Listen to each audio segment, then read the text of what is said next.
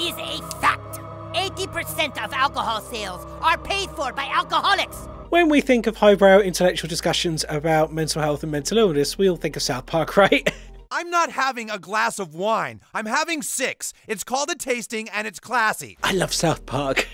I remember sneaking down and watching it after my parents went to bed when I was a kid because I wasn't actually allowed to watch it. But on this video, we're going to look at an episode that's all about addiction. Some stuff is spot on, But why do companies have to put so many addictive things out there? some of it's absolute nonsense. You've got to get down on your knees and you've got to say, I have a problem. Ready? Let's crack on. There's a new Terrance and Phillip mobile game, and it's so amazing and incredibly fun. Oh, really? Yeah, and the most unbelievable part? It's totally free. Sounds too good to be true. You should download it to your phone right now. I mean, come on. If it's free, why wouldn't you? Jimmy is the drug dealer for this new game. Cool. Thanks, Jimmy. Well, I'll check it out. You betcha, pal. Start off with a free taste up and they'll be back for more. Mobile gaming. We thought you would be pleased with the quality of the mobile game. It's the dumbest game ever. All you do is collect and spend Canado. Hey, we know the game's not great, but who cares? It's free. But it's not free. If you charge 40 cents He's here and 50 us. cents there, then it's not free. They see through the charade. Uh-oh, you think so? I think they see through the charade, yes. I'm pretty sure they can hear us, too. Ingenious. Nothing in this world comes for free. Allow me to explain the science behind micropay freemium gaming. For years, the concept behind gaming was simple. You pay for the game and you enjoy. With mobile apps, we now have the ability to make games that are boring and stupid. But if you pay for incentives, you're rewarded. Freemium. The mium is Latin for not really. So this is all about gambling, and gambling is based on some very simple and common learning principles. The first is operant conditioning, which is learning by outcomes. Desired behavior can be reinforced with reward, undesirable behavior can be diminished through punishment. How long that learned response persists, though, depends on something else, which is the second principle called reinforcement schedules. And there are four types. The first is a continuous reinforcement schedule, which means that the desired response or the desired behavior is rewarded every time in a very predictable way. Every time I put money into a vending machine, I get what I pay for. I know if I keep going to work, then on this date every single month, my salary comes in, and I know exactly how much that's going to be. So then we quickly learn that doing that behavior leads to that desirable outcome. But if that reward stops, then the behavior stops quite quickly. If that vending machine stops giving me my packet of crisps every time I put money in, then I'm going to quickly stop putting money in. So with a continuous reinforcement schedule, we're quick to learn, but that response is quick to extinguish if the circumstances change. No reward, no behavior. The second schedule is a fixed ratio schedule. The response is rewarded after a predictable number of responses. A rat gets given a food pellet when it presses a lever five times. So not every time, but after a predictable number of times. The third is a variable interval schedule. The response is rewarded after an unpredictable amount of time, like going fishing. I never quite know when that nibble's going to come. And then the fourth is a variable ratio schedule. The response is rewarded after an unpredictable number of responses, and this one is the key one. This is how slot machines work, and slot machines, while boring, are the most common mode of gambling. Learning from a variable ratio scale, so a reward after an unpredictable number of responses, is the learning that's most likely to persist, to keep the behavior going, as you never quite know when that buzz is going to come. Let's have a couple more goes. Oh, it must be coming soon. Oh, maybe the next one. The next one might be the winner. I'll just do a couple more. Just one more. You're in big trouble, Stanley. Can you explain to us how you managed to spend $489 on a mobile app? I'm sorry, I didn't realize I spent that much. You didn't realize. What are Canadian coins? You buy Canadian coins so you have Canada. Stan, just because I make a good living with my music doesn't mean you can go blow it all on Canada. I'll pay you back for it, okay? How? I don't know. I'll figure it out. Jesus Christ. Yeah, yeah, yeah. I am Lord. Not realizing how much you're spending is a common tactic to get you to keep going, as you never know the next bet might be the winner. Variable ratio reinforcement schedule. So time and spending runs away from you. You know, casinos have no clocks or windows. That's the classic example. If you don't know how long you've been there and you're playing with, you know, not actual money, not physical money in your hand, it's chips, or, you know, in this case, you're just clicking a button for more stuff. Time and money runs away from you. Can you believe him? He knew how much he was spending. He knew he'd get in trouble, but it didn't matter. I hate to say it, but this is a lot like his grandpa. What do you mean? Dad's always had a gambling problem. He's got total addiction tendencies. Could he have somehow passed those demons down to Stan? Well, and you certainly have some of those problems too with drinking. I had a problem, but I was able to stop. Now I only drink gluten free beer and wine. Much better. Addiction at its core is a disorder of motivation, where somebody is using a substance or engaging in a behavior to a point of impairing your day to day function, and you're holding it as something of greater importance than sort of basic but fundamental other aspects of our life, you know, shelter, food, relationships, making sure we've got a steady income. In terms of diagnoses, we have substance use disorders, gambling disorder, and now in the ICD 11, gaming disorder. And so, in conclusion, the successful freemium game is based on five principles entice the player with a simple game loop, use lots of flashing cha-chings and compliments to make the player feel good about themselves, train the players to spend your fake currency, offer the players a way to spend real currency for your fake currency, So they'll forget they're spending money. and make the game about waiting, but let the player pay not to wait. It's a surefire way to make lots of money. And the waiting is the bit. You keep holding on because maybe that reward is coming and then you might pay to kind of hurry that along a bit. Just a bit longer, just a few more goes. The same principle as what's been used on slot machines for decades. It really is not reinventing the wheel. Oh, hey guys. You missed school today?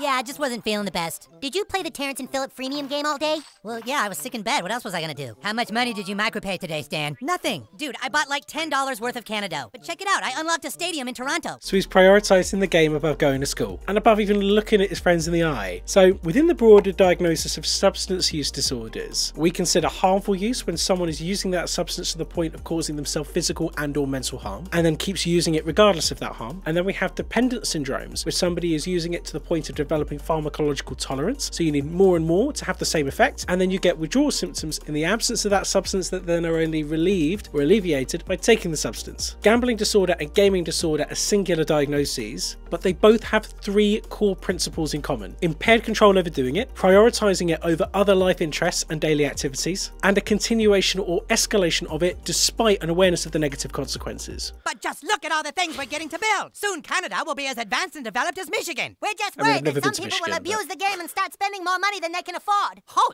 no. Well, we certainly wouldn't want that. Oh, I have an idea. How about we take some of the billions of dollars we are making and we start a campaign to teach everyone to play the game in moderation? Oh, Mm, that'll do it. Do you really think that would help? of course. The alcohol industry does it all the time. The alcohol industry, the tobacco industry, the gambling industries are excellent at trying to police themselves, showing faux concern for the harms. To be honest, parts of the food industry are the same as well. The issue is that then these industries violate their own guidance quite routinely, particularly when it comes to the marketing and trying to expose the substance that people are addicted to to the people that are, uh, you know, most vulnerable to potential harm, with basically little to no consequence. And then there's economic interests in self-regulation, including from our own governments, where you know taxation means that these industries are a core component of our economy, which is directly at odds with the public health harms. You, friends, fun, drink, hot girls, you're hot, more, drink more, more, more, expensive cars, ass, drink, ass, money, tuxedo, threesome, vodka, pussy, drink, drink, drink, you, drink, Vegas, fun, pussy, you, in a tuxedo, vodka, drink, drink, drink, drink it all, you f***ing pussy, more cars, more pussy, more vodka, drink, drink, drink. Please drink responsibly. If you don't laugh, you'll cry at actually how unfortunately real that is.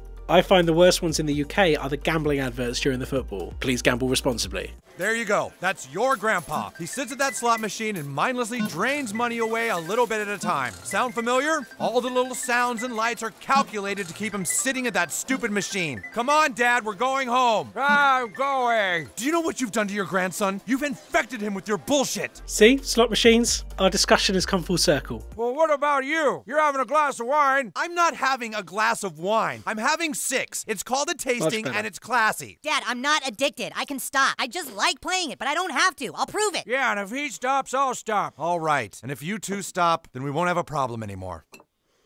Hmm. Earthy, bold, hint of cherry aftertones. This is an excellent example of cognitive dissonance, which is an important component of addiction and a target for psychological treatment. Cognitive dissonance is where your thought pattern and your behaviors are not aligning with one another. I know drinking is bad for me, and I know it's hurting me and harming me, yet I keep doing it. That's a contradiction. And what happens in addiction is rather than changing the behavior, people change the thought pattern to match and basically condone the behavior. Oh, I don't drink as much as that person, I can stop anytime I want. I don't really have a problem. I'm just a social drinker. Psychological techniques techniques like motivational interviewing are designed to try and help somebody come to that light bulb moment where they realize that cognitive dissonance is there and then they realize it's not the thought pattern that needs to change, it's the behavior that needs to change. You start helping someone to develop some insight, and then insight hopefully can lead to change, though it doesn't always lead to change. You're saying these games do this on purpose? Why do you think freemium games send you those text notifications when you haven't played in a while? It's called a trigger, a quick image to trigger the addict's brain. They know exactly what they're doing. Come on, guy. Come back, friend. You've got new buddies, guy. We've just given you 5,000 Canadian coins. Enjoy your Canada. Free?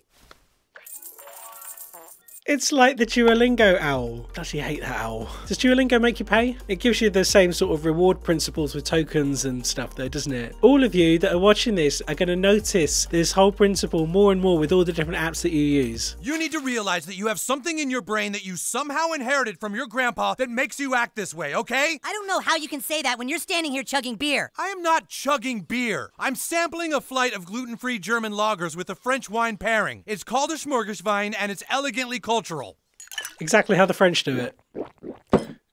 Right.